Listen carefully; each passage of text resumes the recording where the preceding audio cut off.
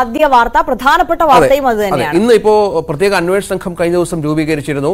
അവരുടെ ആദ്യ യോഗം ഇന്ന് കൊച്ചിയിൽ ചേരുകയാണ്. അതെ രാവിലെ പോലീസ് ആസ്ഥാനത്താണ് ഈ യോഗം നടക്കുക. ചലച്ചിത്ര അക്കാദമി ചെയർമാനായിരുന്ന രഞ്ജിത്തിനെതിരെ ബംഗാളി ചലച്ചിത്ര താരം നൽകിയ പരാതി കൊച്ചി സിറ്റി പോലീസ് പ്രത്യേക സംഘത്തിന് കൈമാറും. എഫ്ഐആർ രജിസ്റ്റർ ചെയ്യപ്പെട്ടാൽ തുടർ നടപടിയിലേക്ക് പ്രത്യേക സംഘം നീങ്ങും. വരും ദിവസങ്ങളിൽ കൂടുതൽ പരാതികൾ സംഘത്തിന് മുന്നിൽ എത്തിയേക്കുമെന്നാണ് സൂചന. അതേസമയം നേരത്തെ ഹേമ കമ്മിറ്റി മുൻപാകെ മൊഴി നൽകിയവരിൽ പലർക്കും ആശങ്ക നിലനിൽക്കുന്നുണ്ട്. പേരുകൾ വെളിപ്പെട്ടാൽ പ്രതികാര നടപടികൾ ഉണ്ടാകുമോ എന്നതാണ് ഇതിന് കാരണം. Crime branch A D G P H Venkitesh ആണ് പ്രത്യേക സംഘത്തിന് മേൽനോട്ടം വഹിക്കുന്നത്. തിരുവനന്തപുരം സിറ്റി പോലീസ് കമ്മീഷണർ നേതൃത്വം നൽകുന്ന സംഘത്തിൽ നാല് വനിതാ ഐ പി എസ് ഉദ്യോഗസ്ഥരുമുണ്ട്. ഏതായാലും ഇന്നിപ്പോ ഇന്നലെ മിനു എന്ന നടി അല്ലെ? മിനു മുനീർ. മിനു മുനീർ എന്ന നടി ഇന്നലെ ആരോപണം ഉന്നയിച്ചിരുന്നു. അതും പ്രമുഖരായ ആറ് പേർക്കെതിരെയാണ്. അവരും ഇന്ന് കൊച്ചിയിൽ പരാതി നൽകും എന്ന് നമ്മളോട് രാവിലെ സൂചന നൽകിയ പശ്ചാത്തലം കഴിഞ്ഞ ദിവസം പ്രൈം ഡിബേറ്റിൽ അതിഥിയായി എത്തിയപ്പോഴാണ് പരാതി നൽകും എന്നുള്ളത് വ്യക്തമാക്കിയത്. നിലപാട് വ്യക്തമാക്കിയത്. അതെ നമുക്ക് നവമി ദിനേശ് അവിടെയുണ്ട്. സിനിമാ മേഖലയിലെ സിനിമാക്കാരുമായൊക്കെ എപ്പോഴും ഒരു കോണ്ടാക്ട് ഉള്ള ആളാണ് നവമി. നവമി നമുക്ക് ആദ്യം തന്നെ ഈ സിനിമാ മേഖലയിൽ വല്ലാത്തൊരു അമ്പരപ്പ് ഉണ്ടായിട്ടുണ്ടല്ലേ ഇങ്ങനെ ഒരു സംഭവം ഓരോരുത്തരും സിനിമാക്കാർ ഒരു പക്ഷേ രാവിലെ ഞെട്ടിയായിരിക്കും ഉണരുന്നത്. ആർക്കെതിരെയാണ് ഇന്ന് പരാതി? ഇന്ന് ആർക്കെതിരെയാണ് ആരോപണം ഉന്നയിക്കുന്ന കാര്യത്തിൽ ഈ പറഞ്ഞതുപോലെ തെറ്റ് ചെയ്തവരൊക്കെ പേടിക്കുകയുള്ളൂ എന്നുള്ളത് ഒരു യാഥാർത്ഥ്യമാണ്. അങ്ങനെ ഉണ്ടായിട്ടുള്ള ആളുകൾ പലരും അത്ര സുഖകരമായില്ല. അവരുടെ മോർണിംഗ് ഒന്നും അല്ലേ?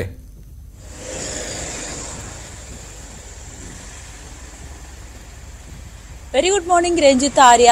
Ranjith പറഞ്ഞതുപോലെ തന്നെയാണ്. ഇപ്പോൾ പലപ്പോഴും നമ്മൾ പ്രധാനപ്പെട്ട നടന്മാരോടൊക്കെ ഇത്തരത്തിൽ പ്രതികരണം ആരായുമ്പോൾ അവർ പറയുന്നത് "അഹ് പ്രതികരിക്കാം നോക്കട്ടെ ഞങ്ങൾക്ക് തീരുമാനിക്കണം ഞങ്ങൾക്ക് യോഗം ചേരണം. അങ്ങനെ പല പല ന്യായങ്ങളാണ് അവരുടെ ഭാഗത്തു നിന്നും ഉണ്ടാകുന്നത്. ചിലപ്പോൾ അവർക്കുമൊക്കെ ഭയം ഉണ്ടാകും. ഈ ഹേമ കമ്മിറ്റി റിപ്പോർട്ടിൽ തങ്ങളുടെ പേരുണ്ടാകുമോ? അല്ലെങ്കിൽ ഇനി ഏതെങ്കിലും ഒരു ആർട്ടിസ്റ്റ് തങ്ങളുടെ പേര് വെളിപ്പെടുത്തിക്കൊണ്ട് രംഗത്തെത്തുമോ? എന്നുള്ളൊരു ആശങ്കയൊക്കെ അവർക്കും ഉണ്ടാകും അതുകൊണ്ട് തന്നെയാണ് ഇത്തരത്തിൽ ധൈര്യമായി വന്ന് നിലപാട് പ്രഖ്യാപിക്കാൻ അവർ ഭയപ്പെടുന്നത്. ഇന്നലെ പൃഥ്വിരാജിന്റെ ഒക്കെ നിലപാട് വളരെ വ്യക്തമായിരുന്നു. ശക്തമായിട്ടുള്ള ഒരു നിലപാട് ജഗദീഷിന്റെ ശക്തമായിട്ടുള്ള നിലപാട്. പക്ഷെ അങ്ങനെ ഒരു നിലപാട് പറഞ്ഞ് രംഗത്തെത്താൻ പലരും മടിക്കുന്നതിന് കാരണം അങ്ങനെ അതുകൊണ്ട് തന്നെയാണ്.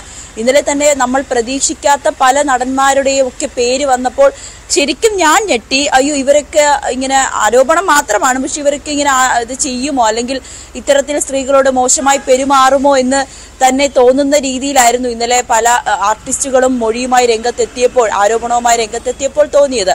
കാരണം ഇവരൊക്കെ ഈ പ്രധാന സമൂഹത്തിൽ നടക്കുന്ന അനീതികൾക്കെതിരെ അല്ലെങ്കിൽ സ്ത്രീകൾക്കെതിരായ ആക്രമണങ്ങൾക്കെതിരെയൊക്കെ വലിയ രീതിയിൽ സോഷ്യൽ മീഡിയയിലൂടെയും അല്ലാതെയും ഒക്കെ മാധ്യമങ്ങളിലൂടെയും പൊതുവേദിയിലും ഒക്കെ നിലപാട് പ്രഖ്യാപിക്കുന്നവരാണ്. അപ്പോൾ അവർ തന്നെ ഇങ്ങനെ ചെയ്യുമോ എന്നുള്ളൊരു കാര്യം ഓർക്കുമ്പോൾ തന്നെ വലിയ രീതിയിൽ ആശങ്ക ഉയർത്തുന്നുണ്ട്. മറ്റൊന്ന് ഇനിയും ആളുകളുടെ പേരുകൾ പുറത്തു വരുമോ എന്ന ഒരു സംശയം കൂടി ഉറപ്പായിട്ടും ഉണ്ടാകും ഈ ഹേമ കമ്മിറ്റി റിപ്പോർട്ടിൽ പല പ്രമുഖരുടെയും താരരാജാക്കന്മാരുടെ അടക്കം പേരുണ്ടെന്നൊക്കെ അഭ്യൂഹങ്ങളുണ്ട്.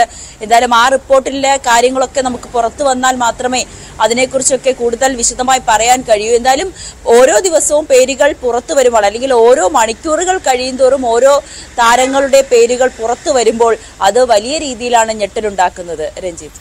അതാണ് പ്രധാന കാര്യം. ഈ താരങ്ങളുടെ പേരുകൾ ഓരോ ദിവസവും ഓരോ പുതിയ പുതിയ നടിമാർ. അതും ഈ പറഞ്ഞു രണ്ടായിരത്തി എട്ട് രണ്ടായിരത്തി ഒൻപത് രണ്ടായിരത്തി പത്ത് കാലഘട്ടത്തിലൊക്കെ ഉണ്ടാക്കിയ ഉണ്ടായ സംഭവങ്ങളെ കുറിച്ചൊക്കെ തുറന്നു പറയാൻ അവർ ധൈര്യം കാണിക്കുന്നു എന്നുള്ളതാണ് മാത്രമല്ല നിയമപരമായ അതിൽ ചിലരെങ്കിലും മുന്നോട്ട് വരുന്നുണ്ട് എന്നുള്ള ഒരു കാര്യം കൂടിയുണ്ട്. പക്ഷെ അവിടെയൊക്കെ ഒരു പ്രതിസന്ധി ആകുന്നത് ഒരു പക്ഷേ ഈ തെളിവുകളുടെ അഭാവം. അത് ഈ കേസിനെ എങ്ങനെ ബാധിക്കും? അവർക്ക് അവരുടെ ഭാഗം അല്ലെങ്കിൽ അവർ അനുഭവിച്ച ആ ഒരു ബാഡ് എക്സ്പീരിയൻസ് പ്രൂവ് ചെയ്യാൻ പറ്റുമോ നിയമപരമായി എന്നുള്ള ഒരു കാര്യം നിലനിൽക്കുന്നുണ്ട്. അതെ. അതെന്തായാലും അന്വേഷണ സംഘത്തിന് നമുക്ക് നേരത്തെ കൊച്ചിയിലടക്കം ഒരുപാട് ഇത്തരത്തിലുള്ള ആരോപണങ്ങൾ ഉയരുകയും കേസുമായൊക്കെ മുന്നോട്ട് പോവുകയും നമ്മുടെ വിജയബാബുവിനെ പോലുള്ളവരൊക്കെ കുറച്ചുനാൾ മാറി നിൽക്കുകയും ഒക്കെ ചെയ്ത സാഹചര്യമൊക്കെ ഉണ്ടായിട്ടുണ്ട്. ആ കേസിന്റെയൊക്കെ അവസ്ഥ അവരൊന്നും പിന്നീട് ശിക്ഷിക്കപ്പെട്ടതായോ? അതെ മുന്നോട്ട് പോയതായി കണ്ടില്ല. എങ്ങും എത്താതെ പോയി എന്നുള്ളതാണ്. അങ്ങനെ ഒരു മറുവശം കൂടി ഉണ്ടല്ലോ അല്ലെ? ഇവർ ഈ പറഞ്ഞതുപോലെ ഒരു മാധ്യമ സമ്മർദ്ദത്തിൽ അന്വേഷണ സംഘം രൂപീകരിക്കുന്നു കേസെടുക്കുന്നു അന്വേഷിക്കുന്നു ഒരുപക്ഷെ വിളിച്ചു വരുത്തി ചോദ്യം ചെയ്യുന്നു. അതിനപ്പുറത്തേക്ക് ഒരു നിയമപരമായ കൂടുതൽ തലങ്ങളിലേക്ക് ഈ കേസുകളൊന്നും പോയ ചരിത്രമില്ലല്ലോ അല്ലെ?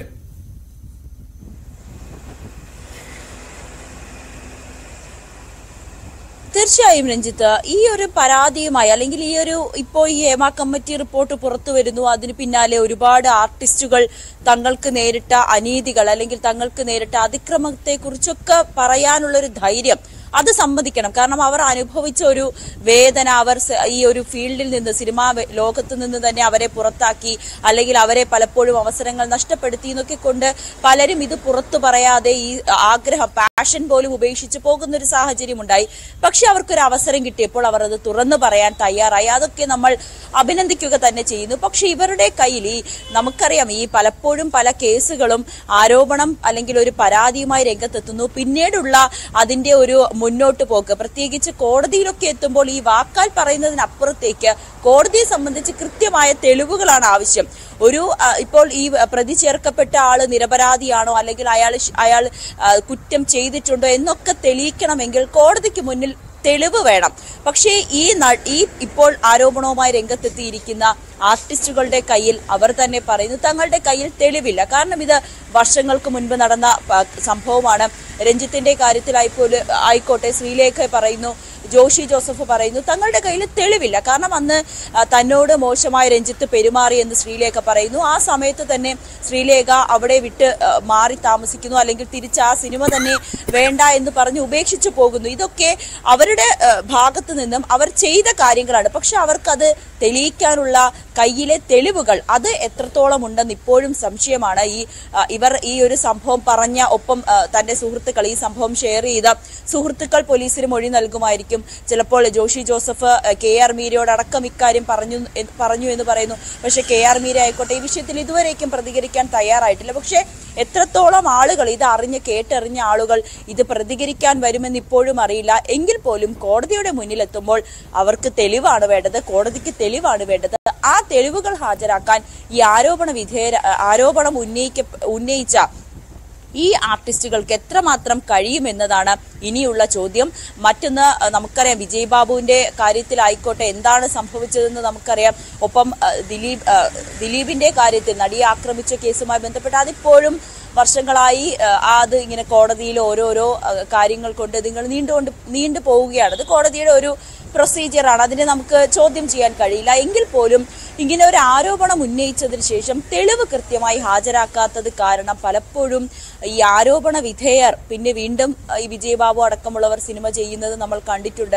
അതേസമയം ഈ ആരോപണം ഉന്നയിച്ച പെൺകുട്ടി സിനിമകളിൽ നിന്ന് മാറി നിൽക്കുന്ന സാഹചര്യം അവരെ സിനിമയിൽ നിന്നും വിലക്കുന്ന സാഹചര്യം ഇതൊക്കെ നമുക്ക് മുന്നിൽ യാഥാർത്ഥ്യമായി തന്നെ തുടരുന്നു. പക്ഷേ കോടതിക്കും പോലീസിനും വേണ്ടത് നിയമത്തിനും വേണ്ടത് തെളിവുകളാണ്. അത് ഹാജരാക്കാൻ ഈ പെൺകുട്ടികൾക്ക് ഈ രംഗത്തേക്ക് വന്ന സ്ത്രീകൾക്ക് കഴിയട്ടെ എന്ന് തന്നെയാണ് പ്രതീക്ഷിക്കുന്നത്. നവമി അപ്പോൾ ഈ ഘട്ടത്തിൽ അന്വേഷണ സംഘത്തെ സംബന്ധിച്ചും ഏറെ വെല്ലുവിളിയാകുന്നത് ഇത് എങ്ങനെ തെളിയിക്കും? അല്ലെങ്കിൽ ഈ കേസ് അന്വേഷണവുമായി എങ്ങനെ മുന്നോട്ട് പോകും എന്നുള്ളതായിരിക്കും. എന്തായാലും ആദ്യ യോഗം. ഇന്ന് ചേരുകയാണ്. മറ്റൊന്ന് ഈ ഹേമ കമ്മിറ്റി റിപ്പോർട്ടിൽ തൽക്കാലം അന്വേഷണം വേണ്ട. ഇല്ല. കാരണം കോടതിയുടെ പരിഗണനയിലാണ് പത്താം തീയതിയാണ് കേസ് പരിഗണിക്കുന്നത്. അത് അങ്ങനെ അങ്ങനെ ഉണ്ടപ്പോൾ ഹേമ കമ്മിറ്റി റിപ്പോർട്ടിൽ ഈ പരാതികൾ അന്വേഷിക്കില്ല. ഇപ്പോൾ അതിനുശേഷം വന്ന ഇപ്പോൾ മിനു മുനീറിന്റെ പരാതി ഉണ്ടാകും. രഞ്ജിത്തിനെതിരെയുള്ള പരാതി ഓൾറെഡി. നൽകി കഴിഞ്ഞു കേസും എടുത്തിട്ടുണ്ട്. അപ്പൊ അത്തരം കാര്യങ്ങളിൽ മാത്രമായിരിക്കുമല്ല നവമി? അങ്ങനെ ഒരു എന്താണ് അത്തരം ഒരു സെറ്റിലേക്കായിരിക്കും കാര്യങ്ങൾ പോവുക എന്നാണ് മനസ്സിലാക്കേണ്ടത്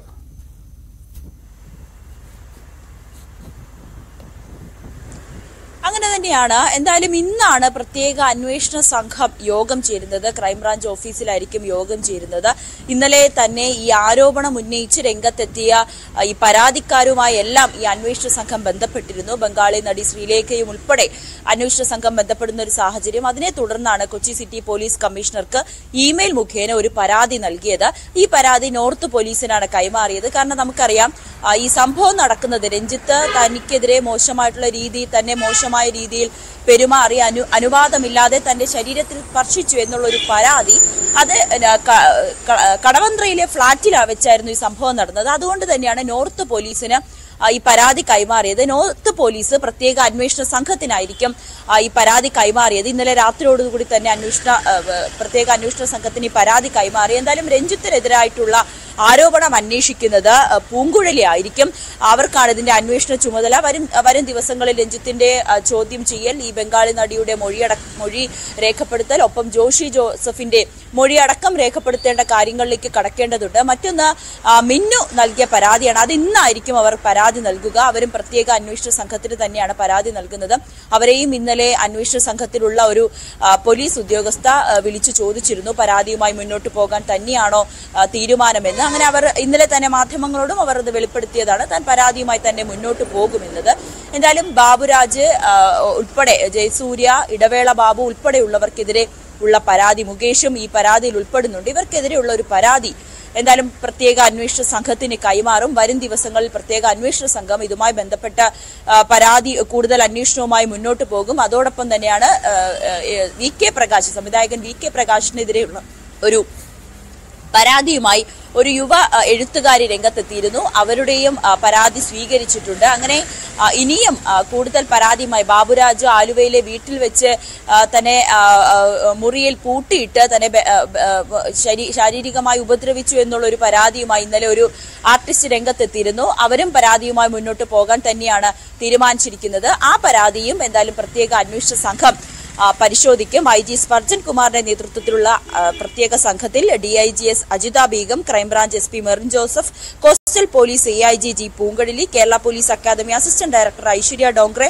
ക്രമസമാധാന ചുമതലയുള്ള A I G V Ajith crime branch S P S Madhusoodanan എന്നിവരാണ് ഈ സംഘത്തിലുള്ളത്. ഈ സംഘത്തിലുള്ളവർ തന്നെയായിരിക്കും ഈ പരാതിക്കാരി പരാതിക്കാരിയായിട്ടുള്ളവരെ നേരിട്ട് വിളിച്ച് പരാതി എഴുതി മേടിച്ചതിന് ശേഷം ഇതിന്റെ ഒരു അന്വേഷണവുമായി മുന്നോട്ട് പോവുക. ആ അന്വേഷണത്തിൽ പ്രധാനപ്പെട്ട ഒരു വെല്ലുവിളി ഇവരുടെ കയ്യിൽ എത്രമാത്രം തെളിവുകളുണ്ട് എന്നാണ്. തെളിവുണ്ടെങ്കിൽ മാത്രമേ പോലീസിന് ഇതിൽ കൃത്യമായിട്ടുള്ള ഒരു പരാതിയുമായി അല്ലെങ്കിൽ ഒരു അന്വേഷണവുമായി മുന്നോട്ട് പോകാൻ കഴിയുകയുള്ളൂ. അവരുടെ കയ്യിൽ അത്തരത്തിലുള്ള ഒരു പരാതി ഉണ്ടെന്ന് തന്നെയാണ് നമ്മൾ വിശ്വസിക്കുന്നത്. എന്തായാലും അതൊക്കെ അന്വേഷണ സംഘത്തിന്റെ കാര്യമാണ്. വരും ദിവസങ്ങളിൽ അതുമായി ബന്ധപ്പെട്ട കൂടുതൽ വിവരങ്ങളും മനസ്സിലാകാൻ കഴിയും. എന്തായാലും ഇന്നും ഒക്കെ നമ്മൾ നമ്മളെ ഇപ്പോൾ ഒരുപാട് മാധ്യമങ്ങളെയൊക്കെ ഒരുപാട് ആർട്ടിസ്റ്റുകൾ ബന്ധപ്പെടുന്നുണ്ട്. തങ്ങൾക്കും ഇത്തരത്തിലൊരു മോശം അനുഭവം ഉണ്ടായി തങ്ങൾക്കും ചിലത് പറയാനുണ്ട് എന്ന തരത്തിലുള്ള ചില ഫോൺ കോളുകളൊക്കെ ലഭിച്ചിട്ടുണ്ട്. എന്തായാലും അതുമായി ബന്ധപ്പെട്ട് നമ്മളും കൂടുതൽ ആളുകളുടെ പ്രതികരണം ഒപ്പം കൂടുതൽ താരങ്ങളുടെ പ്രതികരണത്തിലേക്കും കടക്കുന്നതായിരിക്കും. തീർച്ചയായും നവമി എന്തായാലും തെളിവുകളുടെ അഭാവം മൂലം മാത്രം നീതി ലഭിക്കേണ്ടവർക്ക് നീതി ലഭിക്കാതിരിക്കാതെ പോകട്ടെ. അതെ. നീതി ലഭിക്കട്ടെ എന്ന് നമുക്ക് ആര്യ നവമി